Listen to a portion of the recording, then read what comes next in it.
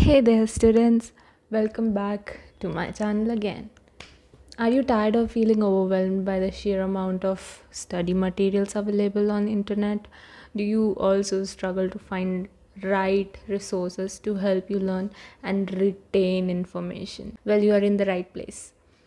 In this video, I'm going to talk about how to choose the correct resources to study. I will talk in general. Although I'm a medical student, my um, type of resource is very different, but this is for everyone as a student. So, if you want, you can take out one notebook or take one pen and paper and write on it because I'm going to tell you four segments on how to know which is the right resources for you it doesn't matter you're a medical student it matters if you are a student in first segment. We will talk about um, how to identify your learning style. Okay? So in the paper you can write the first segment. So before we dive into the uh, resources it's very essential to know and to understand how your learning style is. So are you a visual learner an auditory learner or kinesthetic learner. You just write on that paper. And understanding your learning style it will help you to identify most effective resources for you. For example if you're a visual learner you might prefer watching videos looking at diagrams and using flashcards right? And on the other hand if you are auditory learner you might prefer listening to lecture podcast or audiobooks. And if you're kinesthetic learner, you might prefer hands-on activities, experiments or group projects. Then second segment, we will evaluate the resources available. Now that we know that how our learning style is, let's talk about evaluating resources. When you choose a resource, you can consider these points. First, is it relevant to your course or topic? Is it well organized? and easy to follow third uh, does it provide clear explanations and examples that satisfies you? Or is it up to date and accurate? These are four questions you need to ask yourself when you choose a resource. For example if you are studying for a math test you might prefer a textbook or online tutorial that provides step by step examples and explanations. On the other hand if you if you're studying for a language test you might prefer listening to podcast or watching tv shows in the target language. For me personally as a med student i would need interactive video then qbank to have active learning. And yeah there is my life sorted. So this is how you sort the second segment. This is how you identify the resources in the second segment. Then we talk about the third segment using online resources. Now in today's digital age there are countless online resources available to help you study. Here are some popular options. First is online textbooks and ebooks because these days everyone is studying from tablet. Even i use tablet because it's very important the app or the resource i use that only uh, we can access this with uh, a tablet or a mobile phone. So mobile phone would be a little smaller. So for the bigger screen we use tablet. So second uh, is the study apps and games. So there are certain games like using the flashcards um, and there are certain study apps that has those flashcards and you can use it as game to retain the information. Then third is online courses and tutorials that i am using as a med student. Then last one is obviously it's very common among us is youtube channels and educational videos.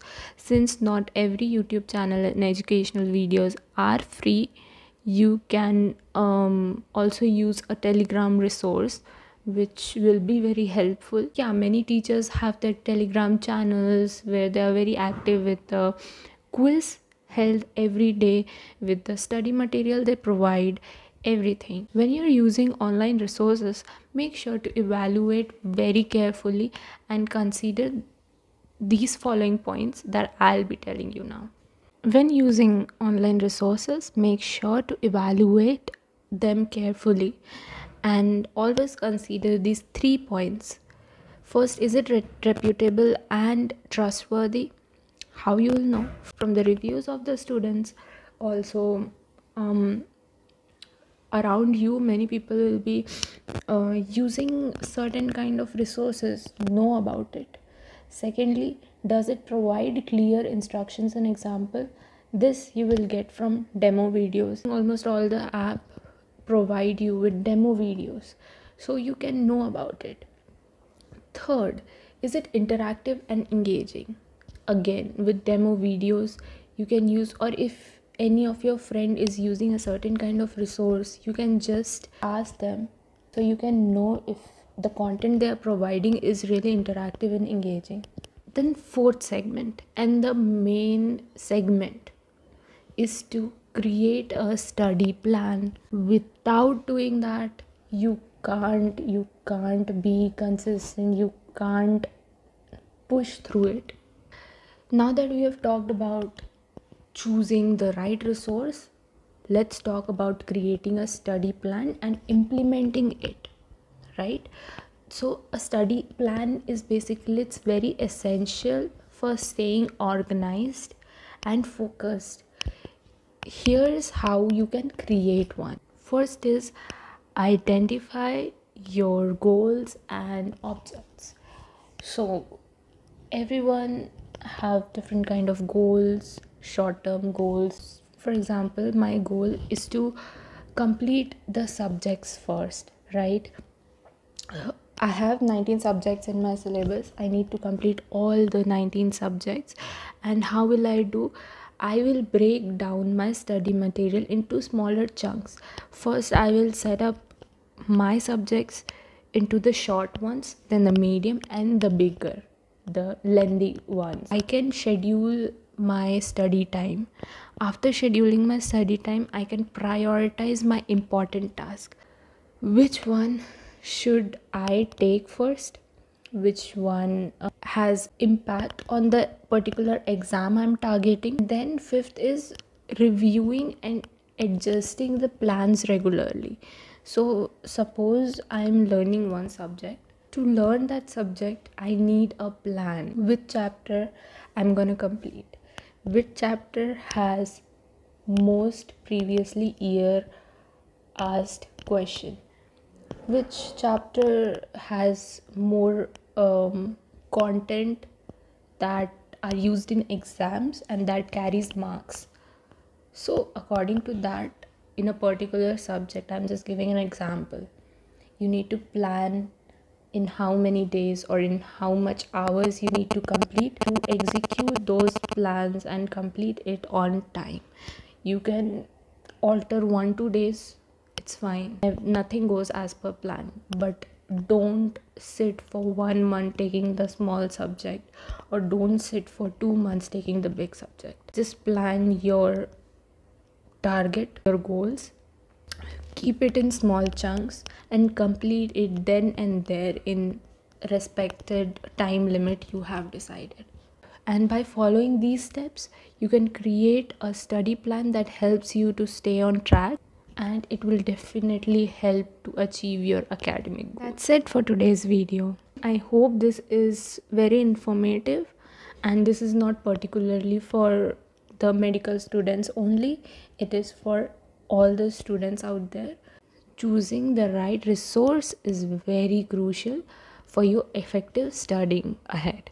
So, by understanding your learning style, evaluate resources very carefully. What you have written in that pen and paper i hope that will be very useful for you.